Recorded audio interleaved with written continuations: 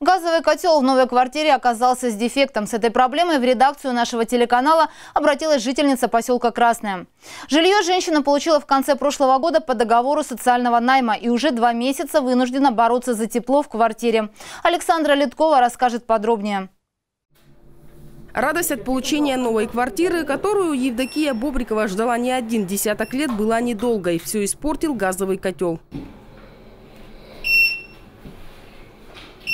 Такой звук котел издает каждые полчаса. Женщина признается, пищание делает нахождение в квартире некомфортным. А на мониторе при попытке добавить или убавить температуру выскакивает ошибка. Когда нам ключи давали, мы пришли дом смотреть, уже тогда котел э, выдавал ошибку Е2 и пищал. Уже вот тогда уже пищал. Однако, согласно акту приемки квартиры муниципальной комиссии, в период передачи ключей нанимателю котел был полностью исправен. Но, по словам женщины, проблемы с отоплением были уже тогда. Я газовикам ходила, мне сказали, надо купить э, запчасть. Я их приглашала, они тут смотрели, они сказали, мне надо купить запчасть на котел. Я э, через сельский совет они связывались с Поповым. Попов нам обещал поменять эту запчасть, но э, никаких этих не было от него действий. Я съездила, купила эту запчасть, мне ее поменяли.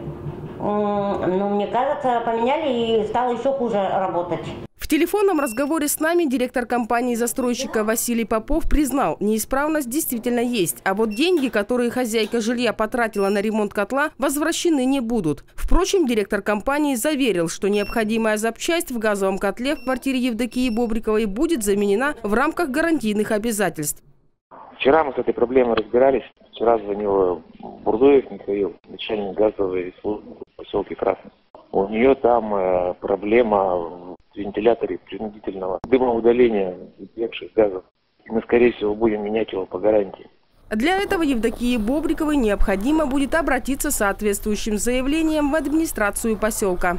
Взять, возможно, акт от э, газовой компании, которая обслуживает эти, эти котлы, как бы о каких-то нарушениях в работе котла. Вот и все. Можно предъявить фотографии, угу. значит, где, вот там, если ошибка указывает, все прочее.